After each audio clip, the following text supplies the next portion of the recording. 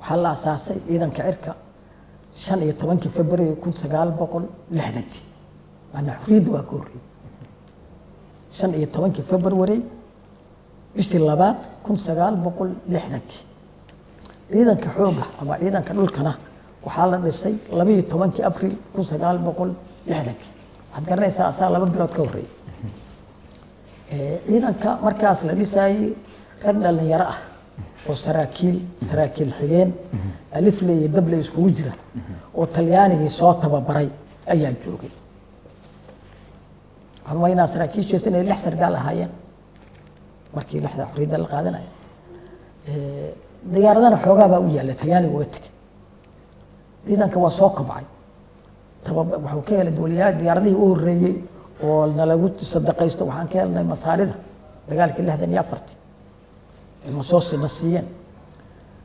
Haddana waxaanu ka helnay ruushka. Wixii lixdan iyo afartii ka dambeeyey lixdan iyo shantii. Ciidanka heerkii ugu sarreeyey wuxuu gaaray kun sagaal boqol toddobaatan iyo shantii. Meesha ugu sarreysa halkaasuu gaaray. Dagaalkii seven seven wixii ka dambeeyana hoos buu u wuxuu lahaa diyaarado aada u tiro badan.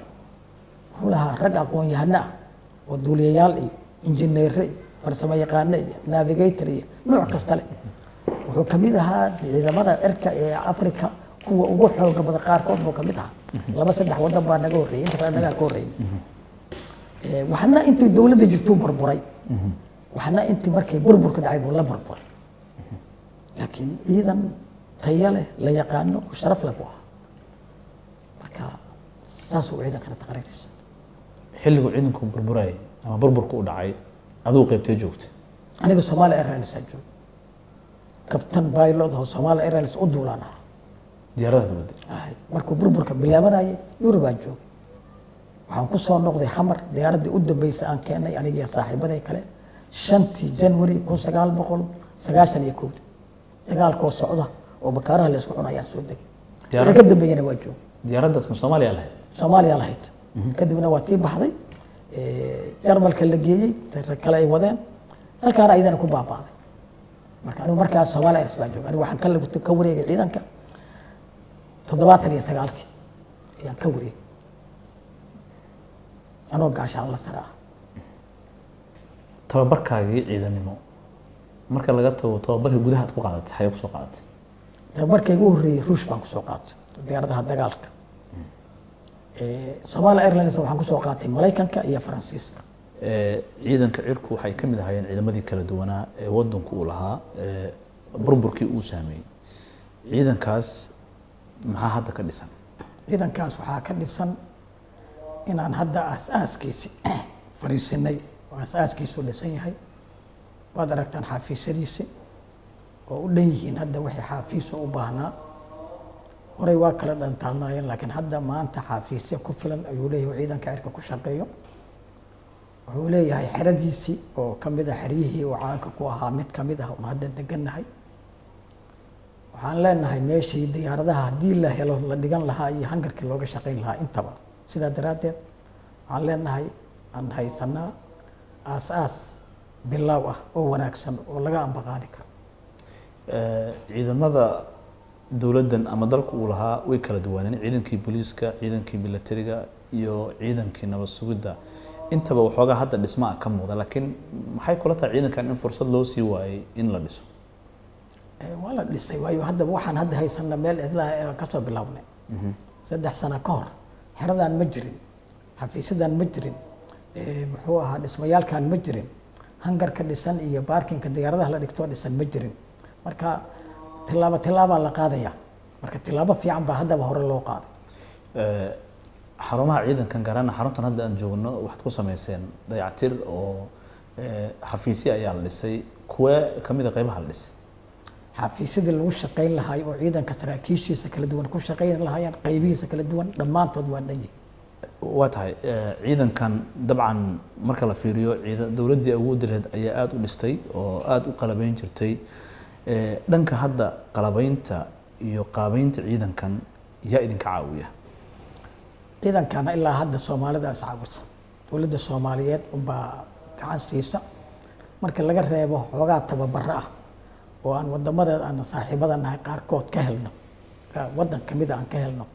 Laakiin wax alla waxaa kale hadda ama xaafiis aan dhisanay ama aan dayac tirannay ama xeradan lagu soo celiyey ama meeshii diyaaradaha la dhigi lahaa iyo hangaradoodii lagu sameeyey waa ummadda soomaaliyeed waxay dhisatay waay dowladaha saaxiibka la tihiin oo hadda tababaradna siiya kuwa kuwa ku jira. Waddanka turkiga ka mid ah. Oo tababar dhallinyaro noo fidiyey qaarna ku maqan yihiin qaarna ay soo dhammaysteen. Waana uga mahad celinaynaa ma jiraan dalal kale oo aad kaalmo noocaasa ka filaysaan ama ciidankan dhismaysa inay qayb ka qaataan? Eh, rajada waa badan tahay. Rajada may ma koobna. Oo turkiga waa ka qabnaa wadamo badan oo kalena waa rajo waa ka qabnaa laakiin ilaa hadda wax hadda bilowday oo hadda aanu dhihi karno halkaasay wax ka jiraan ama waxaasaa noo soo socda ma jiraan. Eh, rubca qarni ka badan hadda ciidankan ma shaqayn. Dabcan saraakiishii ciidankan qaarkood waa ay dhinteen qaar waxaa laga yaabaa inay dalka ka maqan yihiin. Kuwa inay howlgab yihiin ayaa laga yaabaa. Idinkuna hadda waxaad rabtaan inay dhistaan.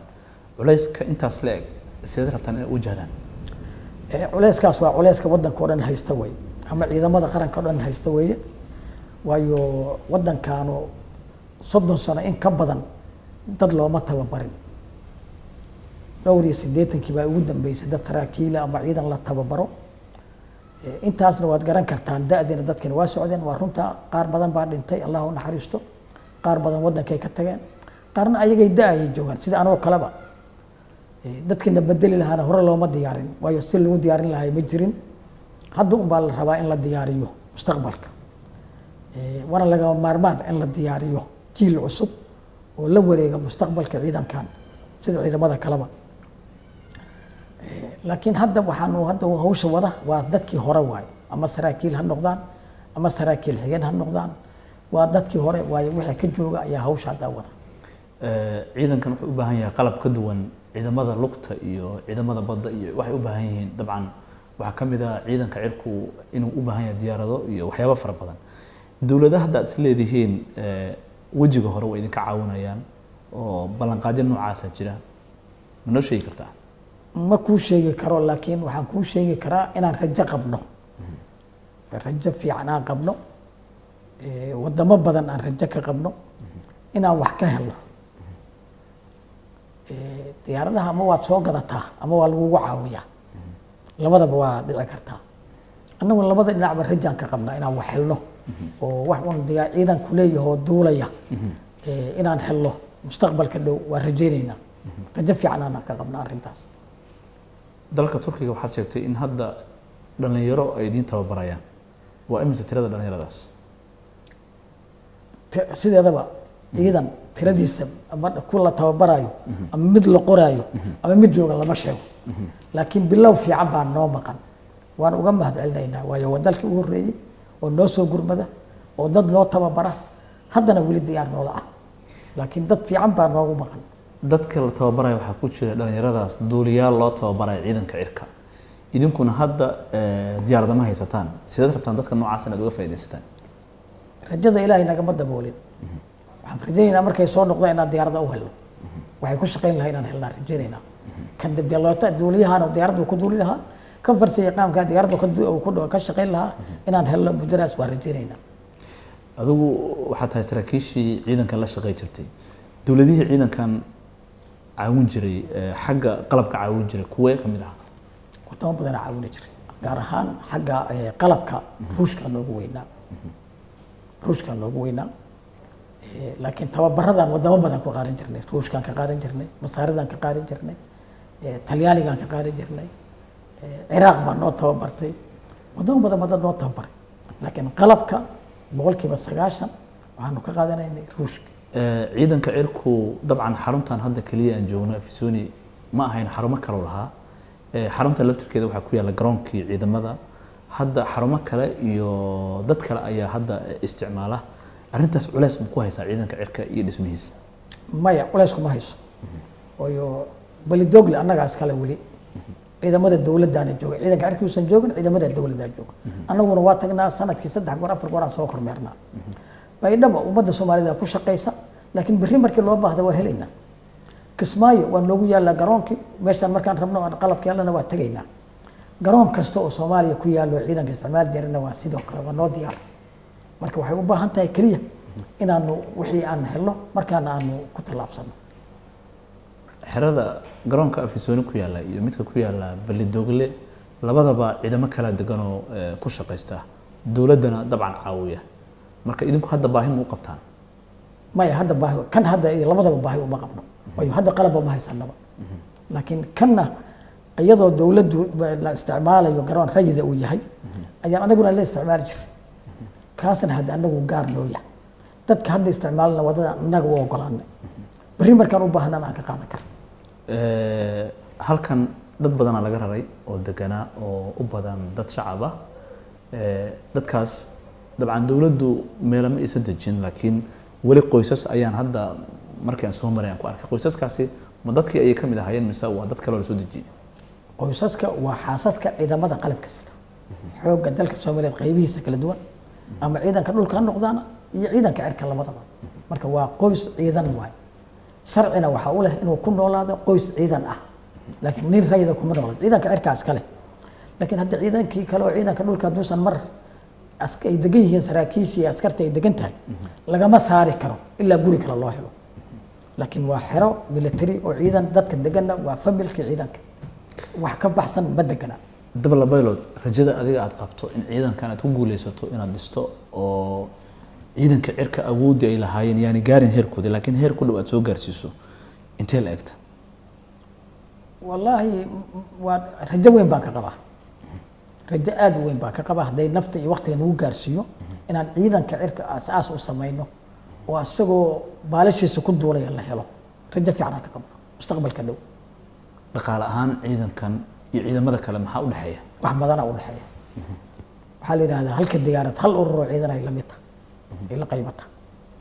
Marka waad garan kartaa.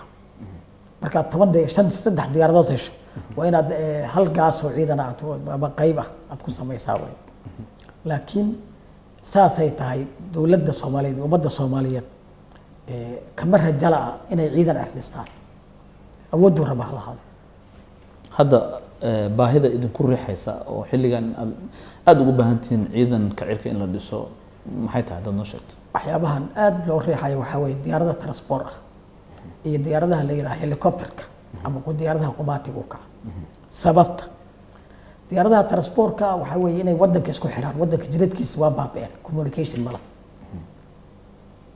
lixdankii markii xorriyadda la qaatay diyaaradihii joogay ayagaa communication ahaa ayagaa mushaarka gobollada iyo degmooyinka wadanka dhaadheer gaarsiin jiray.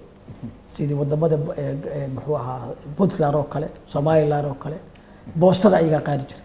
Hadda maanta waxaan u baahannahay wax ciidamadii isku xira wax gobollada iyo degmooyinka isku xira jidadna ma qabno helicoptertas waa diyaaradaha qubaadka u kaca waa la mid. Waxaa kaloon uga baahannahay inay la dagaalamaan cadowga diyaaradaha helicopterka. Inaan u- isticmaalno dhinac transportna inaan isticmaalno dhinac kalena inay cadowga la dagaalamaan marka labada ayarood aan u weynahay hadda aan u baahannahay waa qaybahaas Eh, ciidankan markuu burburayay wuxuu lahaa diyaaraduu lahaa. Diyaaradahaas hadda meelay ku dambeeyaan wax xooga ma ka haysaan horta diyaarad intaas meel ma oli karto oy adiga baawur haddaa halka dhigto. Toban sano kadib u imaan maysto. Diyaaraduhuna matuuci dowladda jirtana waa burburneen. Inta ka dambeysana ilaa sagaashan santana waa la burburiyey. Wadamo dadka yimid aa burburiyey. Marka wax diyaarad ah oo meel jirta ama wax qalab diyaaradeed oo meel jira oo yaalla sidoodaba ma jiraan. Mana jiri karin. Idinka saraakiishiinii ciidanka xilligaas joogay maxaad badbaadiseen oo aad haysaan oo hadda ciidanka aad rabtaan inaad tirahdaan waxaana badbaadin. Haba yaraatee waxaa badbaadin. Xataa warqad ba allaha ka dhigay ma jirto sababta waxaa waaye dadka intiisa badan xerdaan ma deganeen ninka deganaayna waa ka qaxay. Kii joogayna waxba badbaadin kara waayo. Dadka awood badan ka qoryo badan ka hub badan. Gurigaanaad arkaysaa dhulka la dhigay. Intiisa badneed hadda waa baqanta. Gurigaas yar xagga ka soo jeeda dhulka ku fadhiyay ilaa jidka kale masaajidka aad arkaysa xafiis buu ahaa. Soomaaliya dhulka dhigtay. Dad ajnabi ma dhigin. Bulkeetigay qaateen. Maya dad aboor ah oo dalkiisa isaga qaadanaya dadkaad sheegayso xeradaa deganaa iyaga iyo dad la mid ah ka sameeya ama ciidan ha ahaadaan ama ciidan ay ahaan. Marka qof wax badbaadin kara mal waa dhici kartay dadka qaarkood oo joogay inay dokumenti badbaadin kareen laakiin ma dhicin si kasta baa ku dhacday.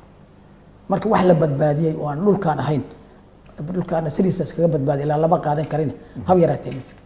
Sareeye guuto maxamed shacali Eh, adigu ka taliya ahaan marka laga tago inaad taliyihii ciidanka cirka ee soomaaliya hadda aad tahay.